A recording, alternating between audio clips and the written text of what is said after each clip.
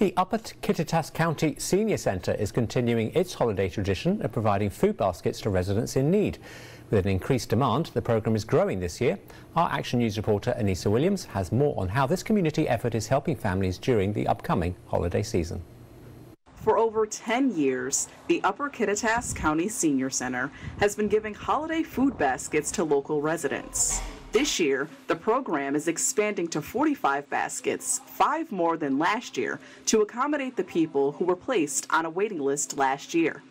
Lori Nevin, director of the Upper Kittitas County Senior Center, said the program provides a chance to contribute to the community in a meaningful way. So many times in my position, I'm asking the community for things. I'm asking for their support. I'm asking for funding. I'm asking for grants.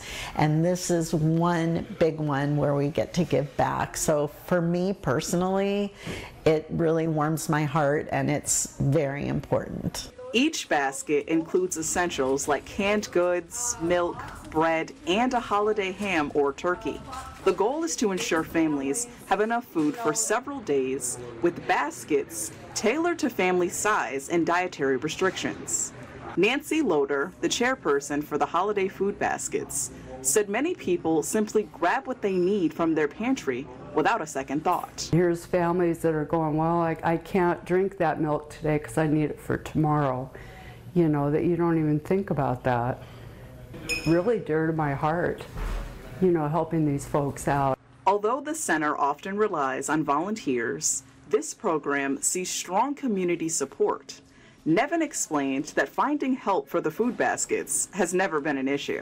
It's a challenge getting volunteers, but for this particular program, we don't have that challenge because everybody wants to come and do something good for the community. The center expects the program to continue expanding in the coming years. In Cle Elum, Anisa Williams, Action News. Thanks so much, Anisa. And applications for the baskets are due by November 27th with pickup scheduled for December 14th. All the details will be on our website.